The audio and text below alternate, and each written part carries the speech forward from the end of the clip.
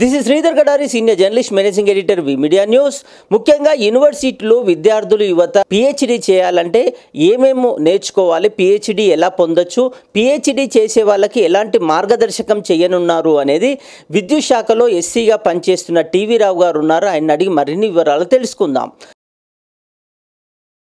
PhD చేసే యువత డెఫినెట్గా ఫస్ట్ నేర్చుకోవాల్సింది ఏంటంటే ప్రతి విషయాన్ని పరిశీలించాలి. పరిశీలించడం ఎలా పరిశీలించాలి అనే దాంట్లో ఈ రీసెర్చ్ మెథడాలజీ రీసెర్చ్ మెథడాలజీ అనేది చాలా మంచి టాపిక్ అది. ఆ రీసెర్చ్ మెథడాలజీ అనే దాన్ని చదవాలి. ఇప్పుడు జర్నల్స్లో వచ్చింది ప్రతిదీ అది స్టాండర్డ్ అనుకోవటం కరెక్ట్ కాదు. ఫస్ట్ మన మైండ్లోంచి ఓకే అది ప్రామాణికంగా తీసుకోవడానికి కొన్ని జర్నల్స్ ఏంటంటే ఇంటర్నేషనల్గా స్కోపస్ ఇండెక్స్ అని ఉంటుంది. అలా వాటిలో పడితేనే గ్రేట్ అనేది ఉంటుంది. కొన్ని అమ్ముడుపోయే జర్నల్స్ ఉంటాయి. డబ్బులు ఇస్తే పేపర్ పబ్లిష్ చేసే ఉంటాయి. ఈ రెండిటికి తేడా తెలుసుకోవాలి. ఒక్కోసారి ఏమవుతుందంటే ఈ హడావిడిగా జరగడానికి డబ్బులు చేయించుకునే వాళ్ళు కూడా ఉంటారు. దాంట్లో కూడా మంచి వస్తుంటాయి. నేను ఏంటంటే పరిశీలించింది. ఒక్కోసారి స్కోపస్ ఇండెక్స్లోనే బ్రహ్మాండంగా వస్తాయి అనేదే కాకుండా కాని వాటిలో కూడా ఉంటాయి. కానీ ఎప్పుడు చూసినా కూడా అవన్నీ కరెక్టు కరెక్ట్ కాదు. రెండు మన మైండ్లో ఉండాలి. ఎందుకంటే మనం టెస్ట్ చేయాలి. American society of civil engineers journal అనేది top.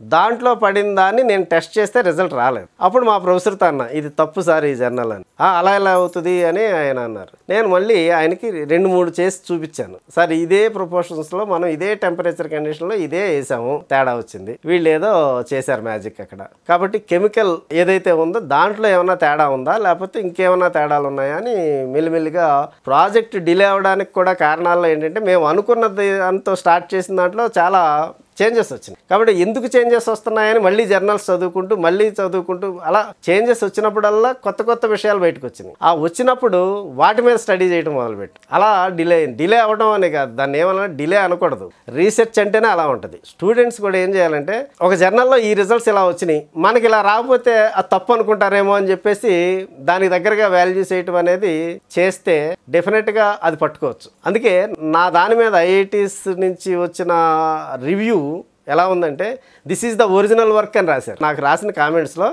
this is the original work అని రాసి దాని మీద మొత్తం ఇక్కడ ఈ స్టూడెంట్ బ్రహ్మాండంగా చేసి ప్రజెంటేషన్లో తప్పులు చేశాడు అని రాశారు. నేను ప్రజెంటేషన్ సరిగ్గా చేయలేదని. అంటే మొత్తం అంతా కూడా మంచి వర్క్ చేశాడు. This is the original work అని రాస్తూ ఈ ప్రజెంటేషన్ సరిగ్గా అంటే ఒక్కొక్కరికి ఎలా ఉంటుందంటే నాలెడ్జ్ ఉంటుంది అన్నీ ఉంటాయి ప్రజెంటేషన్ రాదు. అది చాలా మందికి ఉంటుంది. అది మీడియాలో కావచ్చు ఎక్కడైనా ఏ ఫీల్డ్లో అయినా కూడా ఏంటంటే వాడికి ఉన్నది ప్రజెంట్ చేయడం కూడా రావాలి. ఇక్కడ కమ్యూనికేషన్ స్కిల్స్ అనేది చాలా ఇంపార్టెంట్ అది రీసెర్చ్ ప్రజెంటేషన్ అనేది దానికి ప్రొఫార్మా దానికి పద్ధతి అన్నీ ఉంటాయి. అది మనకు వచ్చిందల్లా మనకు వచ్చిన ఐడియాస్ అన్నీ పెట్టేసిన తర్వాత అప్పుడు ఆ కామెంట్ రాస్తారు. అప్పుడు దాన్ని సరి చేసుకున్నాం. ఇట్లాంటివి ఏంటంటే పిహెచ్డి స్టూడెంట్ రీసెర్చ్ మెథడాలజీ అనేది క్లియర్గా చదివి ఎక్కడ ఇల్యూజన్స్ ఉంటాయి. నీకు రిజల్ట్ వచ్చినట్టు అనిపిస్తూ ఉంటుంది. అది ఒక భ్రమ. అది కూడా నువ్వు గమనించుకుంటూ ఉండాలి. అది ఎందుకంటే నువ్వు తీసుకున్న పారామీటర్స్ అన్నీ కూడా కరెక్ట్గా ఉన్నాయా లేదా ఈ రిజల్ట్ వచ్చింది ఓకే. కరెక్టా కాదా మళ్ళీ ఒకసారి వెనక్కి వెళ్ళి చూసుకుంటూ ఉండాలి.